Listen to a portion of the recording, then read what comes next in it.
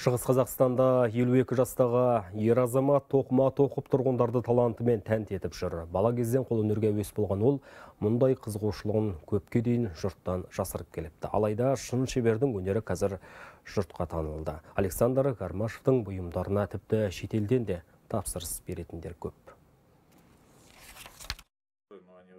Александр Гармашовтың қолынан 5 жасынан бастап бізбен жіп түскен емес. Сондықтан болар тоқуға керек заттың бәрін жинап жүреді. Арасында темірден жасап алған ескі біздері де бар. Александр бастапқыда бұл өнерін көпшілікке көрсетуге қатты қысылыпты. Ал қазір бұйымдары әлеуметтік желіде танымал.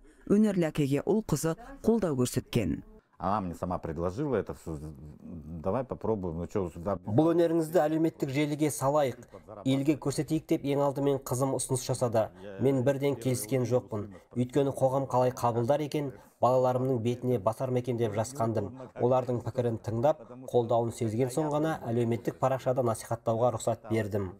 Қазір Александрдың өнеріне бәрі сүйсінеді. Ең алдымен әрине қызы Ксения. Связано все и без... и вообще без шоу. Ксения сәнді бұйым көрсе болды тек әкесіне ғана тапсырыс береді. Кардиган, кеудеше, шарф бәрі зауыттан шыққандай ерекше дизайнда. Всем нравится, все спрашивают, о, где купила. Осы киімдерді киіп шықсам болды, бәрі қызығып, қайдан алдың деп сұрай кетеді. Ғаламтордан сәнге айналған киім көрсем болды, әкеме айтамын, тоқып береді.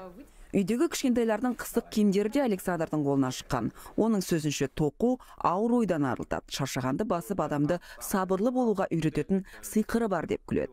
Тіпті кейде математиканы шемішке шеше алуға тура келеді екен. Өйткені тоқыманың бір жібі артық не кем кетпеу керек. Это же надо рассчитать, где убавить, где прибавить, как это... Мысалы, кеудешенің жеңін шығару үшін бір тоқығанда ілмек санын кемітіп, екіншісінде қосып отыру керек. Әйтпесе олып-солпы болып дұрыс өнім шықпайды. Ал оның бәрі математика. Есесіне қолөнершінің әр дүниесі тапсырыс берушіге құйып қойғандай болып шыға келеді. Ешкімде қайталанбайтын ерекше бұйымға қазір Ресейден тіпті Германиядан тапсырыс беріп жатқандар бар. Эльмира Ахметова, Жейрі Бабаханов, Шығыс Қазақстан облысы. Хабар 24.